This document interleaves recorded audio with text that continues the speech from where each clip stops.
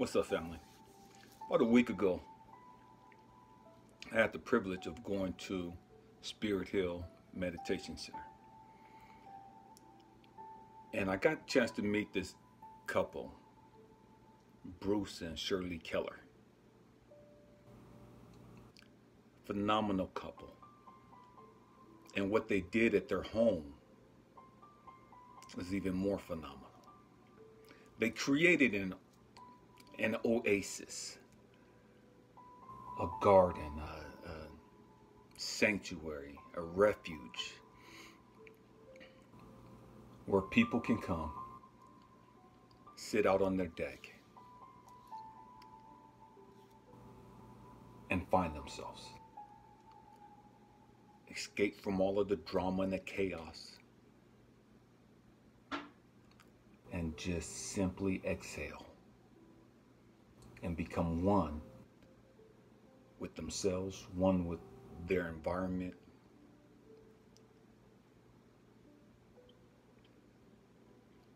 one thing Bruce asked me, he asked me, did I meditate? I told him, yeah, I, I meditate about twice a day. And he smiled. And he said something that was very interesting. And it completely resonated and it's like, ah, the light went off within me. And I was like, that's it. And he simply said, I live my life as a meditation. He said, I live my life as a meditation. And when he said it, it was like that aha moment. And I was like, yes, that's it. That's that's exactly what I do. Although I set aside time twice a day to go meditate, everything I do is meditating. Everything I do is manifesting that meditative state of mind that I have. Whether I'm out in the garden, whether I'm exercising, whether I'm amongst the people and working and just relaxing, whatever it is I'm doing, it's meditative. And it's crazy because so many of us misconstrue what meditating is and why we do it. And although meditating is a great way of excelling and reconnecting and eliminating all the distractions and being at peace, if you're not careful, meditating can be another escape and become unhealthy for you.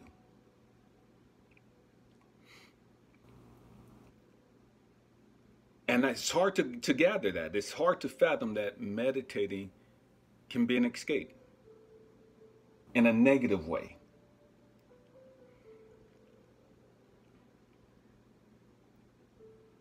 And, and when he was talking to me, it was like, yes. One of the great ultimate goals, purposes of meditating it's not to escape from life. And although we do that to learn in the beginning, but the ultimate end of meditating, it's to be able to take that state of mind back out into the world. It's to be able to take that state of mind out amongst the community, out amongst our, the people. It's easy to sit back in your set aside place, your own little personal sanctuary, and to be able to sit down and meditate and have that peace of mind in that place. To be able to just sit back and think about that place and it brings you joy. Just to think about that place brings you peace. But the ultimate end of meditating is to be able to take that place anywhere you go. To have that mindset anywhere you go, wherever you're at. And in everything that you're doing.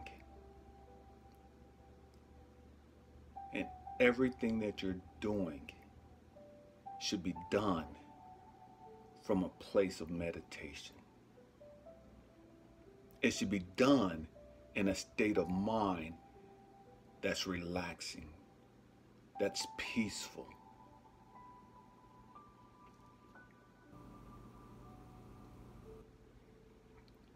My prayer for you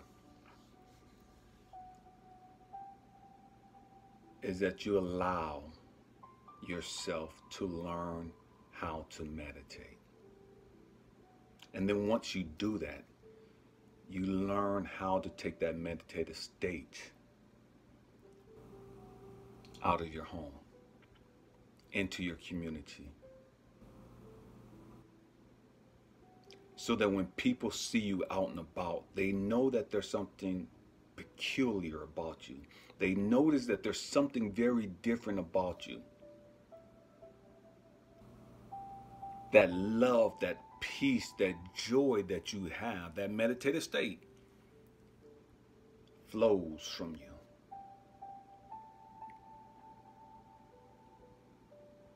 That is the ultimate purpose and goal of meditation. Not so that people could see you and exalt you any of that other superficial, stupid stuff. But so that you can teach others that they can have that too. And that they don't have to go to a mountain. They don't have to go to the beach. They don't have to go to a secluded place in order to have that. In order to have that peace.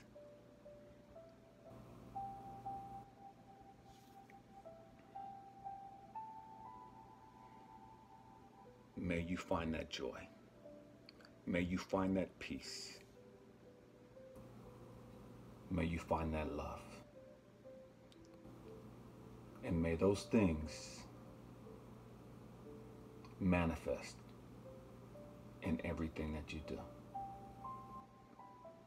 And may you take those things and heal yourself and heal everyone around you. I love you guys. Peace.